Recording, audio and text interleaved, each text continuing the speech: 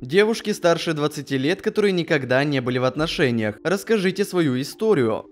Причина номер один. Кому-то просто нахрен не всрались отношения.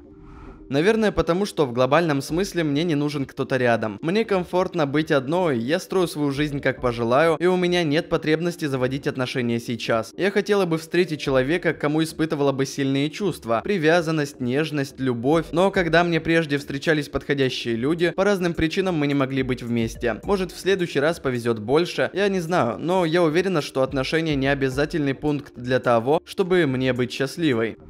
Воспринимается эта тема так, будто не иметь опыт в отношениях до 20 лет – это что-то на уровне ездить голым в метро.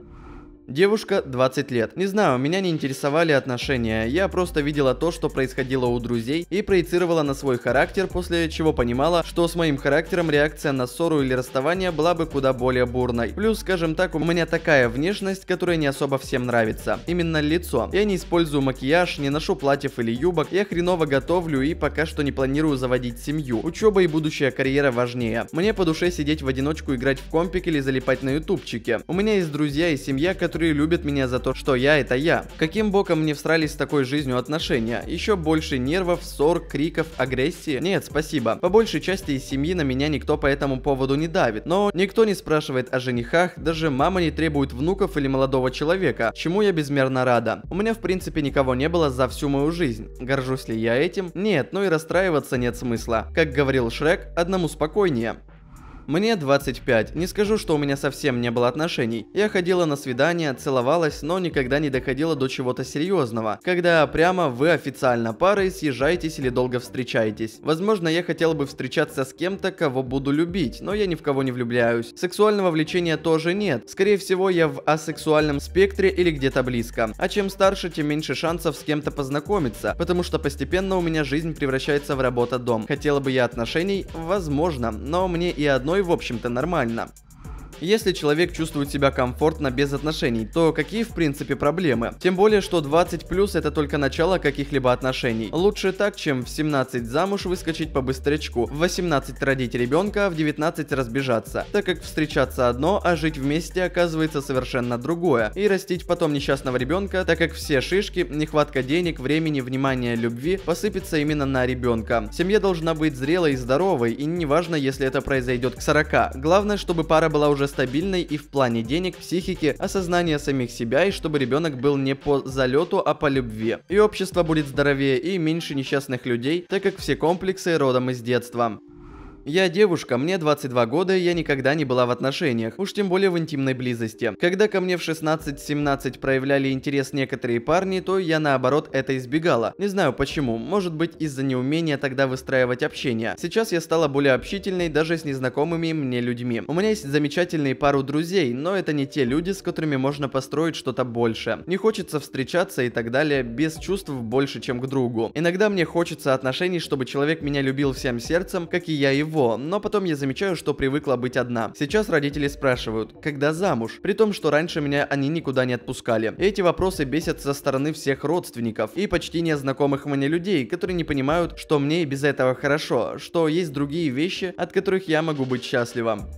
Мне 23, я не чувствую себя одинокой без партнера. Я наслаждаюсь жизнью, тусуюсь и так далее. Стараюсь наполнить жизнь счастьем. Парня никогда не было, а когда задумалась, возник вопрос, а зачем? Не буду торопить события, пока все прекрасно. Чувство удовлетворения лично мне приносит учеба. Помимо этого, я стремлюсь еще чем-то себя нагрузить. Строю наполеоновские планы на будущее, может это мне мешает видеть симпатию со стороны, ибо я ее в принципе не воспринимаю, а дешевые подкаты, нарциссов и токсиков гоню прочь. Девчонки, Девушки, не напрягайтесь из-за этого, всему свое время. Не встречала человека, который бы реально понравился. Знакомилась со многими через объявления. Но ни внешне, ни по разговору никто не зацепил. Нет интереса и удовольствия. А зачем себя заставлять, мучить, потому что надо быть как все. Мне всегда очень комфортно и круто в своем собственном обществе. Если встречу человека, с которым так же легко и круто, тогда и замучу отношения. 24 года, все просто. Я неуверенная в себе, закомплексованная жируха. Найти в себе силы меняться без помощи любящего человека я не могу. А меня вот такую никто и не полюбит. Вот и выходит замкнутый круг. Мне 21, никаких отношений ни разу не было. Симпатии были, но я быстро теряла интерес. К тому же у меня достаточно высокие стандарты, которым я сама соответствую. Считаю лучше быть одной, чем с кем попало.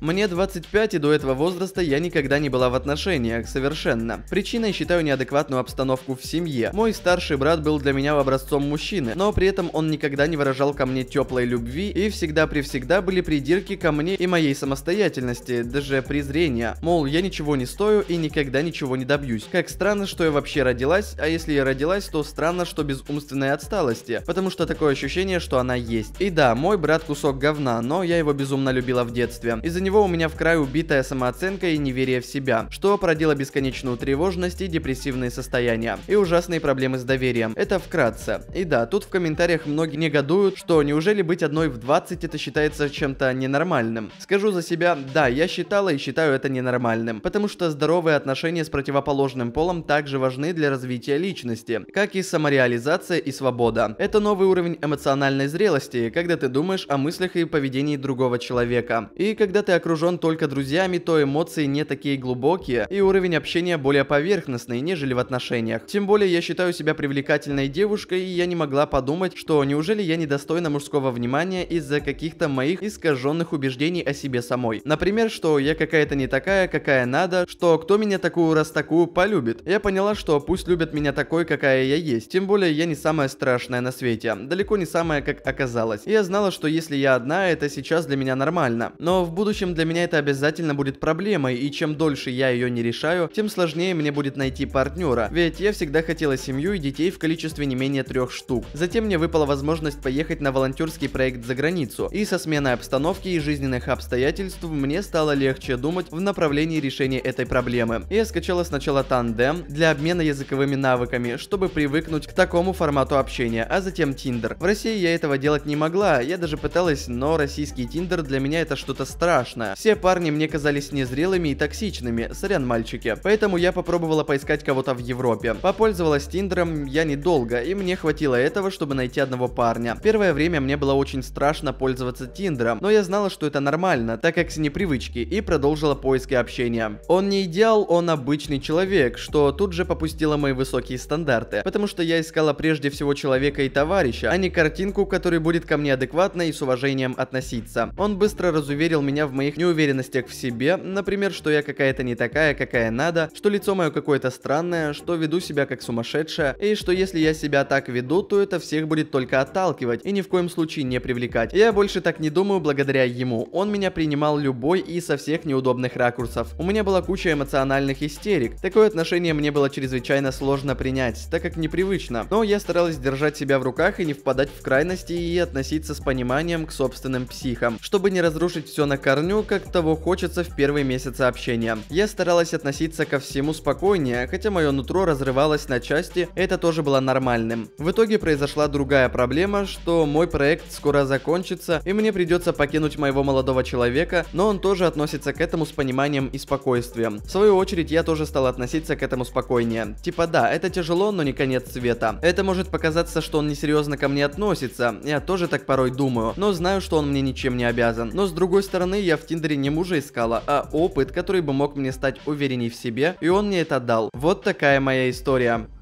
А на этом все. Если видео вам понравилось, обязательно ставьте лайки и подписывайтесь на канал. А также в описании я оставлю ссылку на телеграм-канал, где я публикую еще больше контента, переведенного на русский язык специально для вас. А также, если не сложно, оставьте комментарий более чем из четырех слов. Это очень поможет продвижению данного ролика в рекомендации. Большое спасибо и всем пока!